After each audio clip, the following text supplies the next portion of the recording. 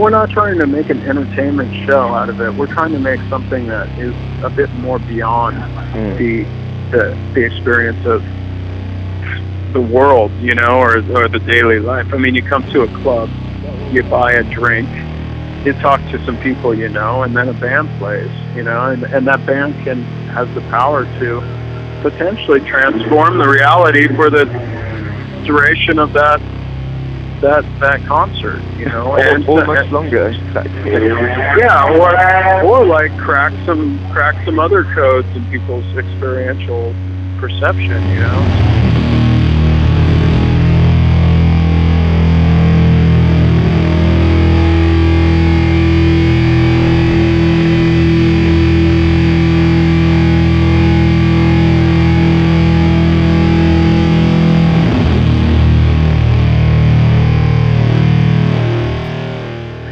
You know, robes are not a piece of clothing people wear these days unless you're in a monastery in the Alps, you know. It's it's um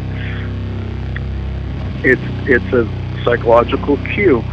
And and one of the cues it it it does provide is anonymous um ego, which which I think is important on stage.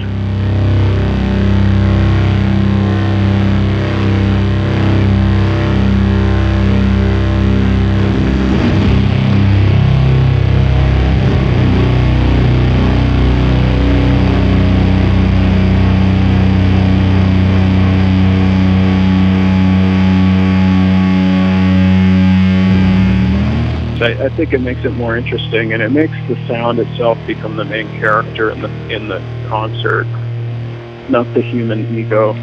Mm. And there's so much possibility of spirituality and introspection and a- abstract art and music. I think that's you know if you can blur that that that line even a little bit with these things which um, you know rationally may seem a, a bit theatrical or visual or um, absurd even, or kitschy is another word that people have used for this. I don't. You don't have to get it. I just think it's interesting that people see it so many ways. Mm. But but the reality is, it is blurring that line. You know, so it doesn't doesn't need to be a piece of uh, commodity or or um, you know, yeah, the audience is not just the recipient of the situation anymore. Mm. they're they're sort of part of something. Part if of they want